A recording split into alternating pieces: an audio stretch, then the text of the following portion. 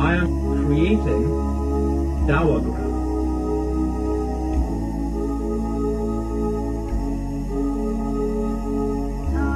Dawahgram, the world's first halal social media site. Dawahgram allows users to connect with like-minded individuals who share the same faith and values, fostering a supportive online community.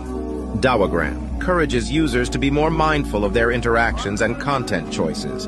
Compared to other social media sites that allow for your eyes to be polluted with haram, Allah mentions in the Quran that on the day of judgment our eyes will intercede for the actions that we perform.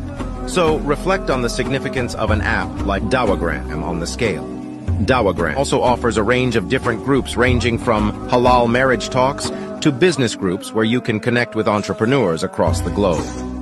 Dawahgram isn't just an app, it's a movement.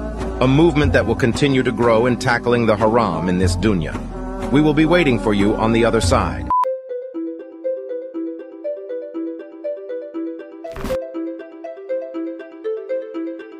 Alright guys, welcome back to the channel. If you're new, man is Bobby. Guys, negative news today. Hit and run injuring Muslim Stanford student sparks hate crime probe.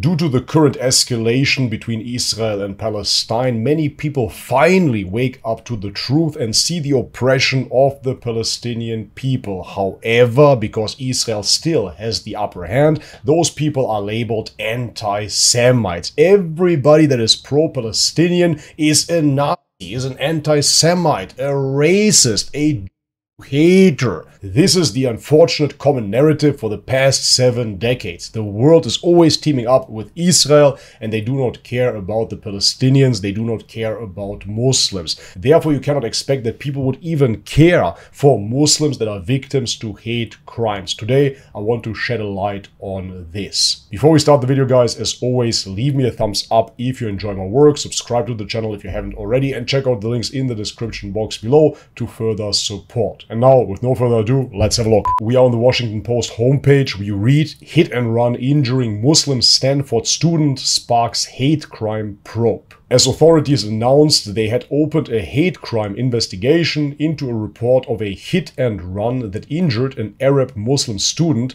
at Stanford University. The student called on people on Sunday to collectively denounce hatred, bigotry, and violence, amid rising reports of hate crimes against Arabs, Jews, and Muslims in the United States. A black SUV hit Stanford student Abdul Wahab Omira on the Palo Alto, California campus before 2 p.m. Friday, according to university officials. The driver of a Toyota 4Runner was reported to have made eye contact with the victim, accelerated towards him and struck him, then shouted, F you and your people, while driving off, according to a news advisory from Stanford's Public Safety Department. Omira described the driver as a white man in his mid-20s university officials said. On that note, just two hours ago, there was a police sketch released to show more information about the suspect in the Stanford hate crime incident. New images of a suspect accused of running over a Stanford student of Syrian descent last week. This is the sketch. So this is the alleged suspect that committed the hate crime. Omira was transferred to a hospital with non-life-threatening injuries, the university said. One of his friends told KTVU, a Fox affiliate in the Bay Area,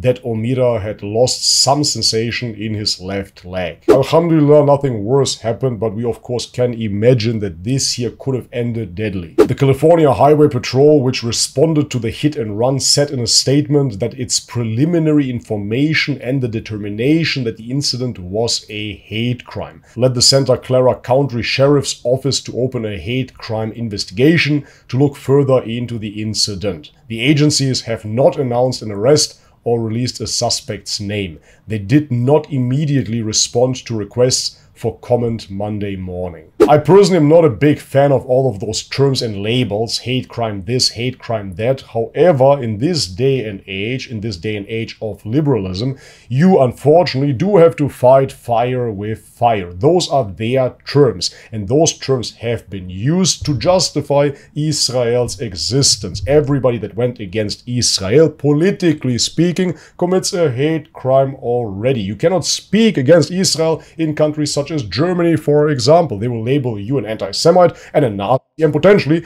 put you in jail. This was the common narrative until now. Due to social media, thank God we see a shift there. And therefore, yet again, even though I do not agree with those terms, I do not agree with the term Islamophobia either. Those terms are so weak but nevertheless I do understand why they are being used here to essentially take the mirror and hold it into the oppressor's face so they see that they are exactly doing what they accuse the other side of. Omira, whom friends identified to local media as a Syrian refugee, released a statement Sunday through a students group that has been organizing sit-ins at Stanford to protest Israel's actions in Gaza during the war with Hamas. Even this wording is of course absolutely false. What kind of war does Israel have with Hamas? It is not a war with Hamas. They are cutting electricity, water, food to the Palestinian people, of which half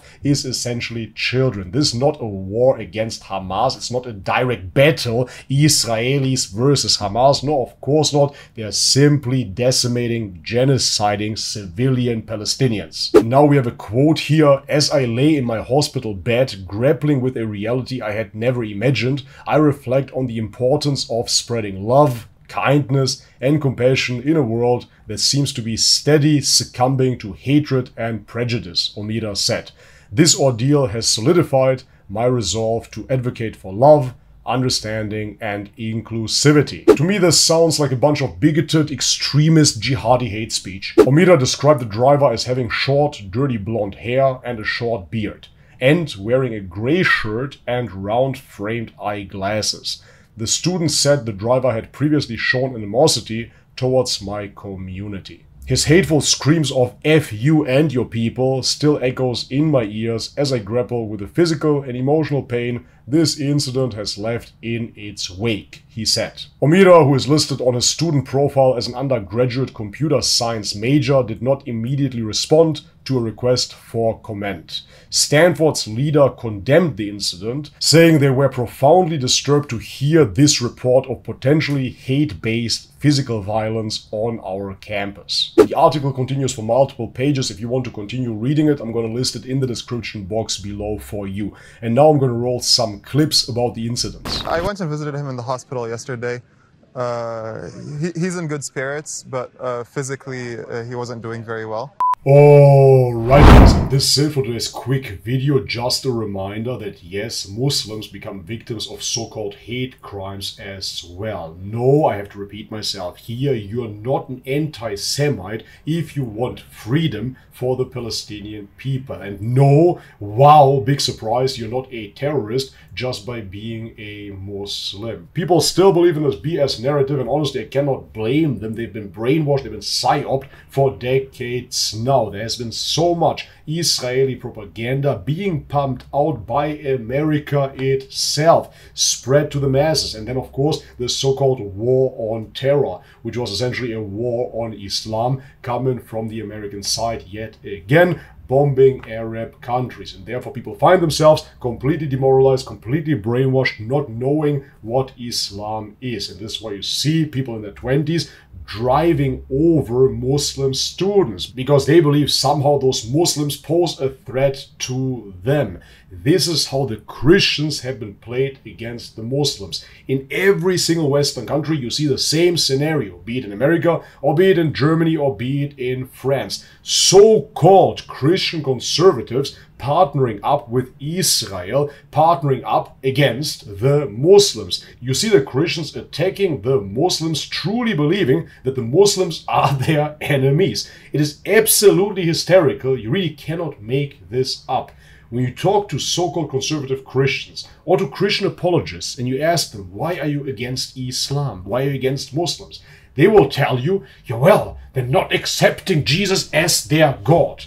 And the Jews do? This is absolutely ridiculous, man. What are you talking about? Please look into it. You are differing theologically minimally. If you look at the Christians, they believe, allegedly, in one God.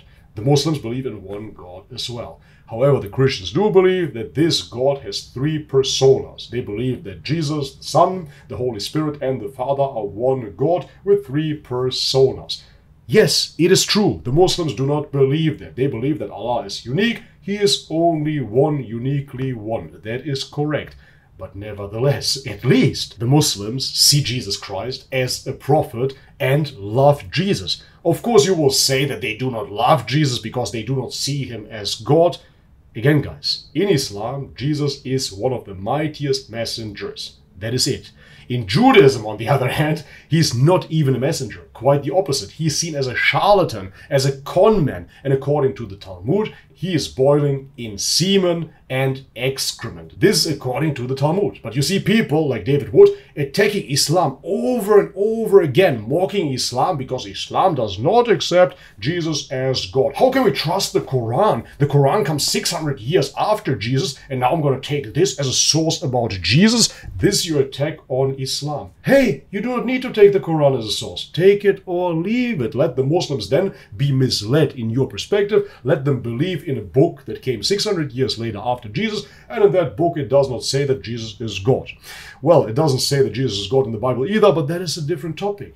However, if you look into the sources of Judaism, if you look into the Talmud, you will see that your God is being attacked, is being defiled. Why don't you have a problem with that? You, of course, don't, because there is a deeper agenda at hand, a deeper agenda that is financing this hateful rhetoric against Islam. But that is all I can say on this platform here, so I'm gonna cut it off. However, I want to leave you with some words from Germany, where I grew up. In Germany we say, wenn sich zwei streiten, dann freut sich der Dritte. What that means is, when two are arguing, there's a third one that is happy about it. So I'm going to let you do the interpretation who the two groups are that are fighting each other and who the third group could be that is happy about it. Alright guys, and this is it for today's video. If you liked it, leave the thumbs up. If you haven't subscribed already, guys, please do so. And check out the links in the description box to further support my work. Alright guys, but this is it. As always, may God bless you all. Much love and peace.